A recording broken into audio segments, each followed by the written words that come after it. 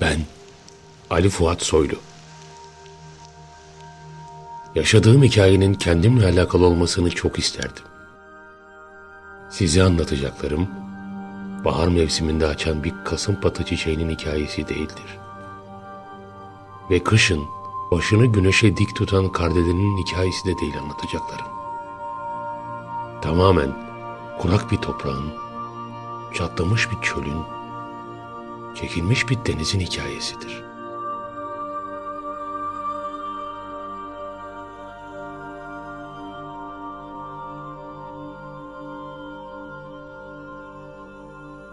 Kırmızı balon Çocukluğumun uzak ülkesi Ne vakit bir kırmızı balon görsem o vakit uzak diyarlara giden bir çocuk olurdum. Aklımda sınırları kaldırılmış ülkeler, bayrakları olmayan uluslar vardı. O diyarların özgür çocuklarıyla el ele tutuşup sarı başaklara doğru koşmayı çok isterdim. Çocukluk işte. Sarı başakların orakla biçildiğini, sonra otların yakıldığını nereden bilebilirdim ki? İşte bu benim dünyamın ta kendisiydi. Kırmızı balon patladı, sarı başaklar biçildi ve otlar ateşe verildi.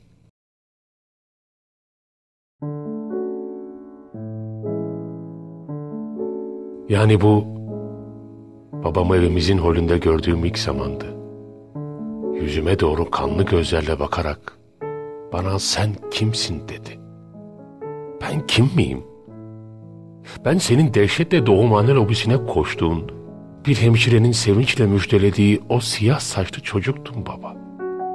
O minik elleriyle dünyayı avçlamaya çalışan, büyük gözleriyle yeryüzünün ufkunu kavramaya çalışan, tahta gibi cılız ayaklarıyla bütün ömrünü tamamlamaya çalışan, naif, korunaksız, sana muhtaç bir çocuktum baba. Yüzüme baktığında sana tüm bunları söylemeyi öyle çok isterdim ki. Ama senin o taş kulakların bunları duymayı her seferinde reddetti. Reddettikçe bağırdım baba. Çığlıklarım yeryüzünün rüzgarına karıştı. Eminim ki bu yeryüzü bizden utandı baba. İlk tokadını hatırlıyor musun baba? Etimi acıtan bir tokat değildi o. Yüzümü kızartan, canımı yakan, telimi sızlatan bir tokattan bahsetmiyorum. Bütün kılcallarımın nefretle şaha kalktığı o ilk tokat. Ben senin kuyularına çok girdim baba. Sahi, size tahtadan yaptığım oyuncaklardan bahsetmedim değil mi? Madem sırası geldi, madem her şey açığa çıktı ve madem bu mektup okunduğunda Selma'nın gözleri fal taşı gibi açılacak, o halde söylemeliyim. Ben seni aklımın sularına bu yüzden getirmedim Selma. Göğsümü göğsünden bu yüzden uzak tuttum. Tutsağın konularında pençeleşen bir ailenin çeperinden tüm gücümle ittim seni. İstedim ki bu kıyılara hiç girmeyesin, ayağına değmesin istedim su çırpıntısı. Ben seni aklımın sularına hiç değdirmedim Selma. Seni öyle çok sevdim ki, yüzüne karşı bunu hiç söyleyemeyecek kadar. Yanına gelip başucunda duramayacak kadar.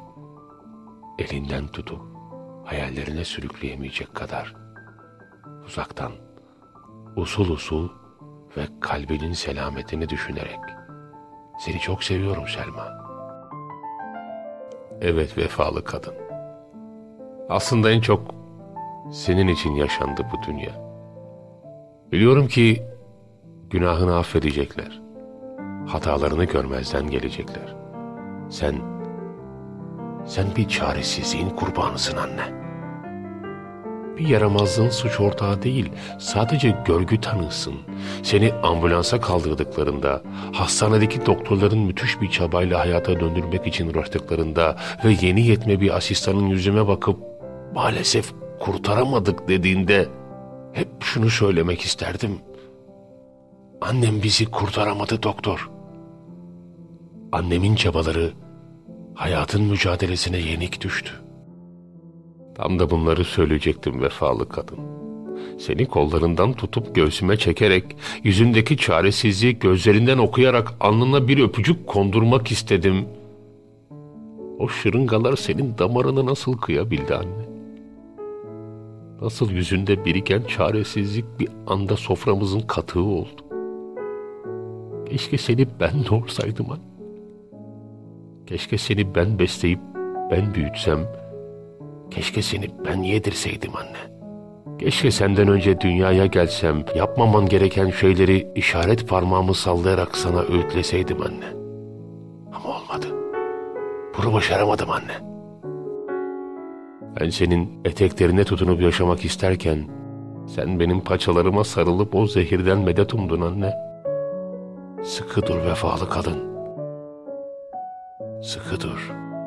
Az kaldı. Geliyorum. Ey sevgili dünya. Ne yaşadım, ne kadar yaşadım, neler yaşadım hepsine tanıksın. Dileğim o ki bir Ali Fuat daha yetim kalmasın. Dileğim o ki bir Ali Fuat daha bunlara tanık olmasın ve dileğim o ki ey dünya yaşattığın her şeye rağmen hayallerimi yaşatacak bir Ali Fuat da olsun. Ben artık pes ediyorum. Kalbimin derinliklerinde ince bir sızı ve o sızının kapladığı büyük bir acıyla yaşıyorum. Sebebim anne ve babasını zehirden kaybetmek diye geçecek kayıtlara. Hoşça kal dünya.